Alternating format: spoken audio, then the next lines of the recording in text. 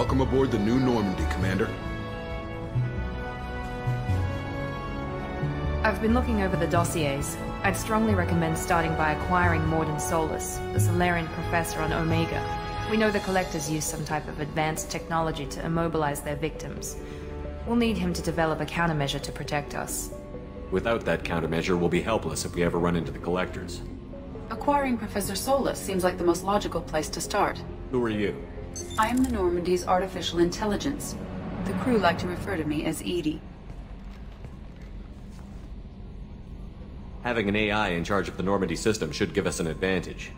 Actually, I am not in control of the ship, Commander. Due to the potential dangers of a rogue AI, Cerberus has severely restricted my capabilities. During combat, I operate the electronic warfare and cyber warfare suites. Beyond that, I cannot interface with the ship's systems. I observe and offer analysis and advice. Nothing more.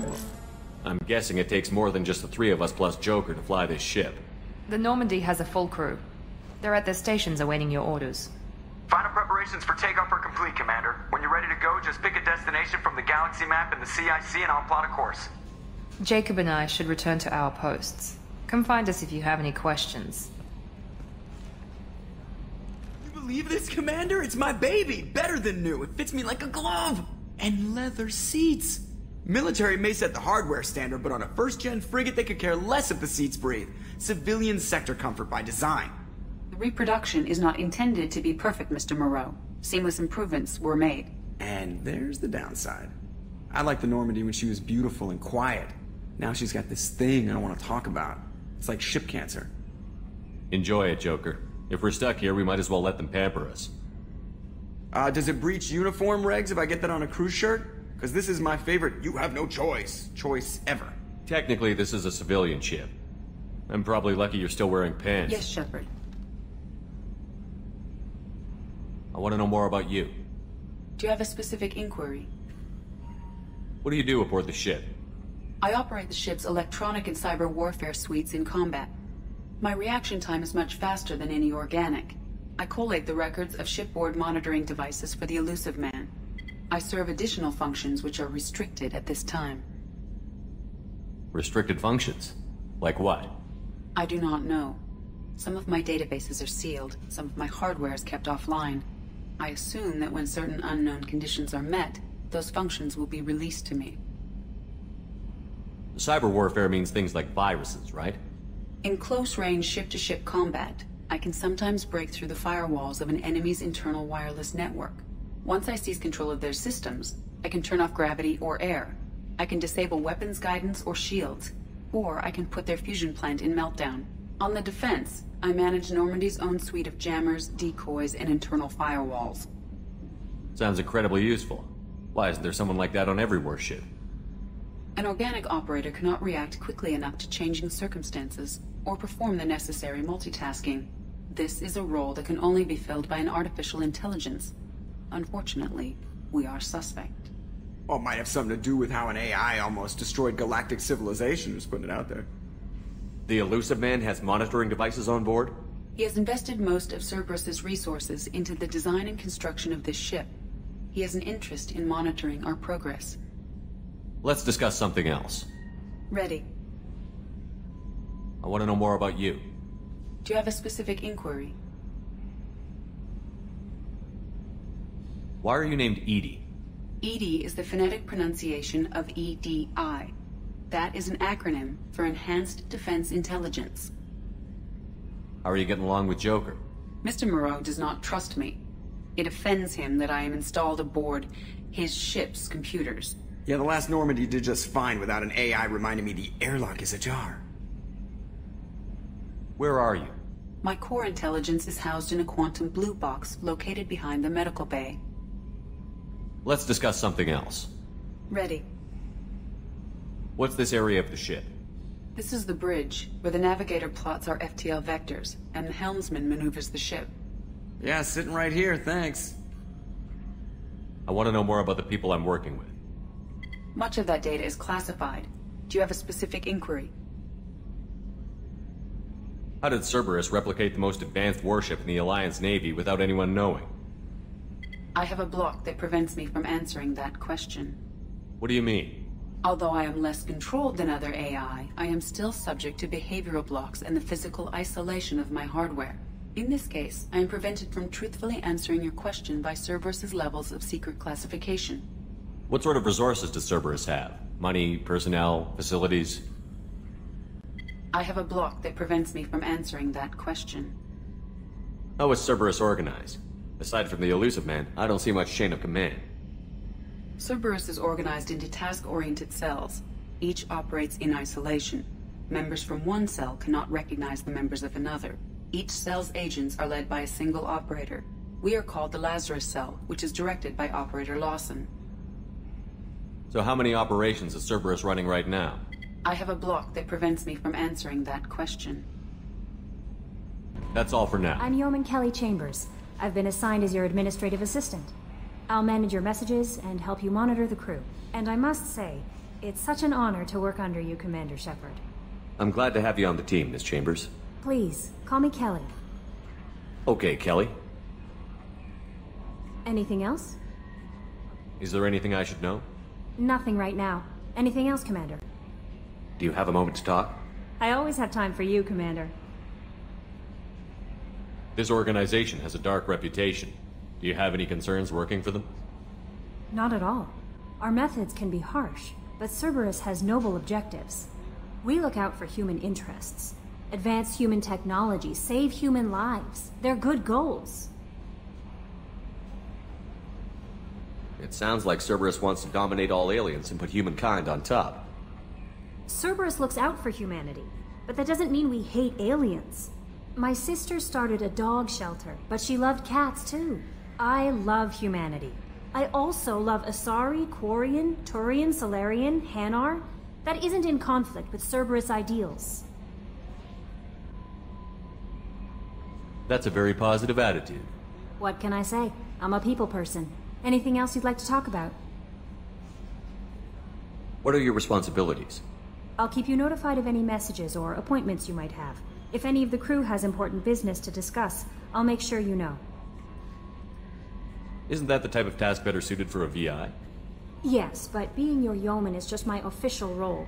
Unofficially, I observe the crew. Everyone knows how risky our mission is. Many of us may not be coming back. That's a lot of pressure. I have a degree in psychology. I'm good at sensing when people are overly taxed. You make sure the crew's mental health is sound? Yes, I look for warning signs. I listen. It's not a full-time job, and it's most effective when done informally. We're lucky to have someone with your skills, Kelly. Thank you, Shepard. What else would you like to know? How do you feel about being assigned to the Normandy? I was handpicked by the Illusive Man to help fight the greatest threat known to humanity. How do I feel? Honored, exhilarated, terrified. But mostly I feel encouraged. Under your leadership, we can't fail. Don't worry. We'll defeat the Collectors. I trust you implicitly. The moment I met you, I knew I could close my eyes, fall back, and you'd be there. I might do more than catch you, Kelly. Now that's an enticing thought. Anything else you'd like to talk about? I better go. Commander, there hasn't been time to really settle in and take stock. I want to say that working with you is a great opportunity to do something that matters. It's a privilege to serve on the Normandy, Commander. You may change your tune if we end up like the original Normandy. Maybe. As long as the Illusive Man walks his talk. And you do the same, I'll do my best to make sure we succeed. That's been the condition for my service so far. I have issues with certain actions Cerberus has taken in the past. What has Cerberus done to make you nervous? A lot. They've been called terrorists, and with good reason. Doubt you can find a more checkered past. But if the Collector threat is real, and we do something about it, Cerberus will be remembered differently. Or we'll all be tried and executed. Can't count on people thinking about it as hard as I have. It's good to hear a clear opinion. Sounds like we're two of a kind. That honors me more than you, Commander. Let me know if you need anything. You came all the way down here to see us? You're speaking to our commanding officer. I'm touring the ship, getting to know my crew. I'm Engineer Ken Donnelly, handling the power control systems. This is Gabby. That's Engineer Gabriella Daniels, actually. I'm responsible for the propulsion systems. What can we do for you, Commander? Are you set up okay down here? We can't complain. I just wish it didn't take so long to calibrate the FBA arrays. Kenneth, you're complaining. What kind of problems are you having? When they upgraded the Normandy design, they got a bit sloppy with the FBA couplings. I won't bore you with the tech, but there's an array of attenuators in the primary power transfer system that channels the field bleed. Kenneth, you're boring the commander with tech. In short, if we had T6 FBA couplings installed, it'd save us a lot of maintenance time each day. Why isn't something like that already installed? It's probably just a design oversight. Efficiency isn't affected, it's a maintenance issue. Also, the T6 model can be hard to find. Nash and Stellar Dynamics discontinued them. We could probably find used ones in the Omega markets, but we have no time for shore leave. Where did you receive your training? Both Gabby and I started in the Alliance, serving on the SSV Perugia. She flew in the first wave at the Battle of the Citadel. We saw Sovereign firsthand. Why did you leave the Perugia? After you died, Anderson lost political clout. The Council backslid on the Reaper menace.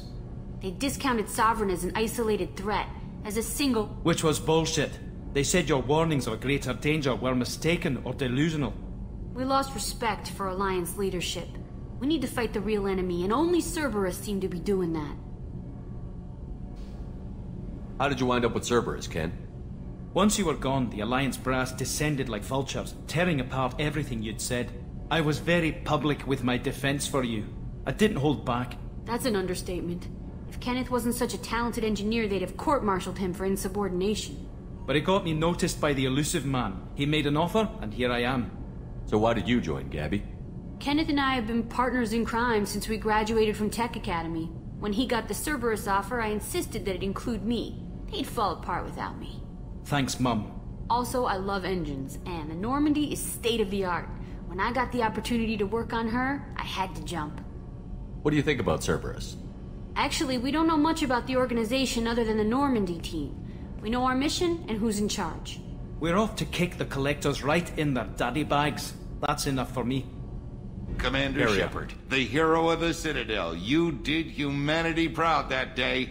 Mess Sergeant Rupert Gardner here. How can I be of service? Do you have everything you need? I make do. But have you ever tried to prepare a decent meal with military provisions? I'm good, but I'm no miracle worker. Taking down the collectors is going to be rough business. The crew deserves a few fine meals before they throw themselves into the fire. What do you need? If I had some quality ingredients... Oh, shit. You've got more to worry about than grocery shopping on the Citadel. Forget I mentioned it. If I head that way, I'll keep an eye out. Much appreciated. Most of this list is probably standard fare for those namby-pambies on the Citadel. Anything else you'd like to talk about? What do you do here on the Normandy? What don't I do?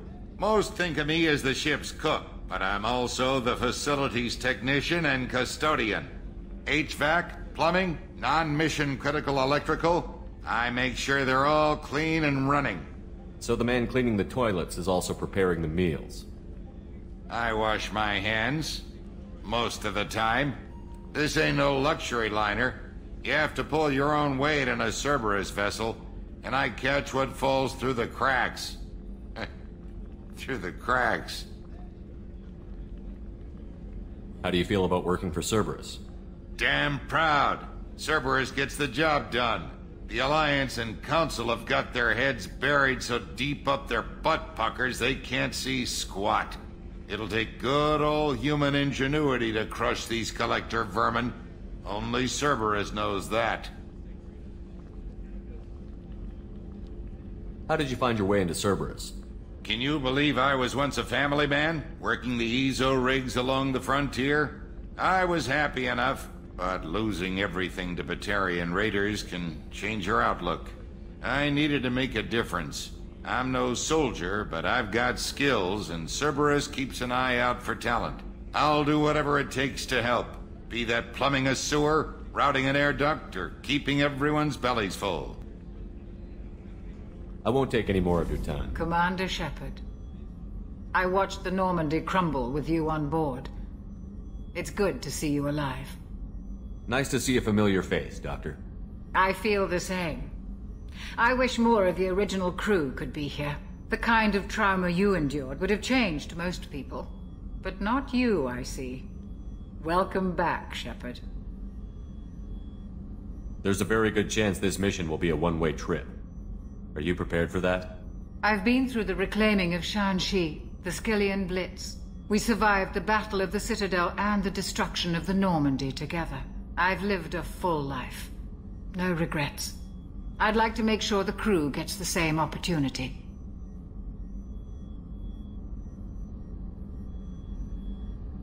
Doctor, you've been with the Alliance for years. Why leave now? After the Normandy was lost, the surviving crew was reassigned. I was stationed at the Mars Naval Medical Center, a very respectable position, but it wasn't on a starship. Colonial military life isn't for you? I've spent most of my life on warships, never knowing what the next mission might bring. I'm used to the hum of engines, the creaking of bulkheads, that subtle vertigo when the momentum dampeners kick in. Life planetside is just too static, too boring.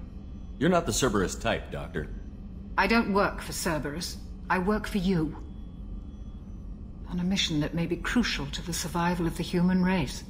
I have faith that your dealings with Cerberus will be ethical. I trust you, Commander. Do you have everything you need? I believe so. This medical bay seems very much like the sick bay on the original Normandy. Only thing missing are my private reserves.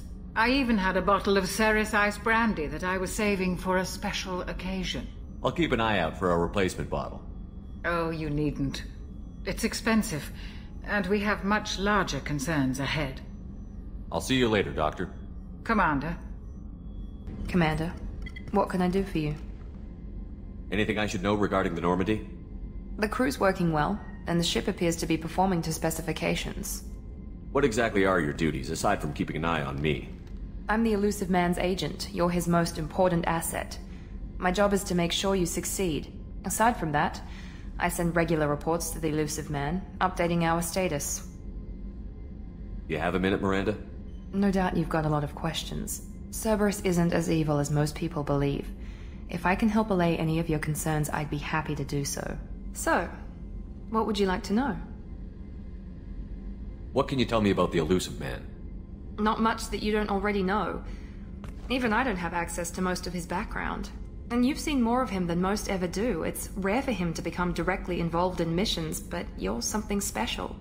Whatever else people might say about him, I can assure you he's got humanity's best interests at heart. That includes you and me. How can you be sure of that if you know so little about him? I didn't get to where I am without knowing how to gauge people's motives and ambitions, even from brief encounters. He's no saint, and he'd be the first to admit it. But he is committed. Humanity couldn't have a better advocate. What kind of resources does Cerberus have? We're very well funded, though I doubt anyone other than the Illusive Man knows exactly how well. But our resources aren't unlimited. Reviving you and rebuilding the Normandy was a significant investment, and a significant risk. We're all hoping you can do the impossible, Shepard. No pressure. Are you military or political? Or both? Cerberus has several divisions. Political, military, scientific, but we're all working towards the same goal. The teams you encountered before your accident were mostly part of our military division. But not all Cerberus operations use the same protocols. We try not to get bogged down in bureaucracy or formality. I know what we're doing here, but what's Cerberus's long-term goal? The advancement of the human race. Nothing more, nothing less. The Salarians have the Special Tasks Group. The Asari have their legendary commandos for stealth and recon operations. Cerberus is humanity's answer to those organizations. But those organizations are regulated by governments. Who keeps Cerberus in check? Nobody. We're privately funded and our backers trust the Illusive Man to make the right decisions. But he's very clear about our goals. Protect humanity and serve its advancement. Tell me about yourself, Miranda. Oh, I guess that's fair. I've spent the last two years learning everything there is to know about you. Well, you should probably know that I've had extensive genetic modification. Not my decision, but I make the most of it. It's one of the reasons the Illusive Man handpicked me. I'm very good at just about anything I choose to do. What level of genetic modification are we talking about? That's very thorough. Physically, I'm superior in many ways. I heal quickly, and I'll likely live half again as long as the average human. My biotic abilities are also very advanced. For a human. Add to that some of the best training and education money can buy, and, well, it's pretty impressive, really. Sounds like you were designed to be perfect. Maybe, but I'm not. I'm still human, Shepard. I make mistakes like everyone else. And when I do, the consequences are severe. Everyone expects a lot from someone with my... abilities. You certainly don't lack for confidence. It's just a fact. My reflexes, my strength, even my looks, they're all designed to give me an edge. No point in hiding from it. It's the reason I'm trusted to oversee the most dangerous, risky, and technically demanding operations Cerberus undertakes. And it's why I was assigned to you. It's my job to make sure you succeed, Shepard. Thanks for the information, Miranda. I'll talk to you later.